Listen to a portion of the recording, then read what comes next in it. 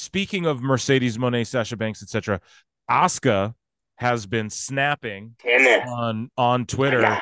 about uh her time doing Joshi wrestling and the Joshi promotions and stuff like that.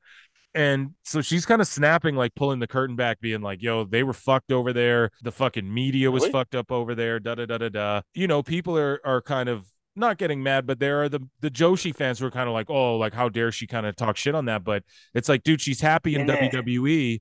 Kairi, uh, we talked about on the last pod, she announced that she has an announcement coming, and that announcement was she's going back to WWE. She signed a deal with them on August seventh, I believe, and so uh, she's coming Cool. back. Kairi Sane's coming back, and uh, people are saying, you know, it's just like Kairi, like they want to be in WWE. These people want to be there. Like it's it's not like it's this all bad, all evil thing. Just because Nia Jax was a fuck, fucking botch machine doesn't mean like you know it- it's this all evil empire. Like Kairi enjoyed her fucking time there and wants to go back there and knows it's it's the big deal. It's the real deal.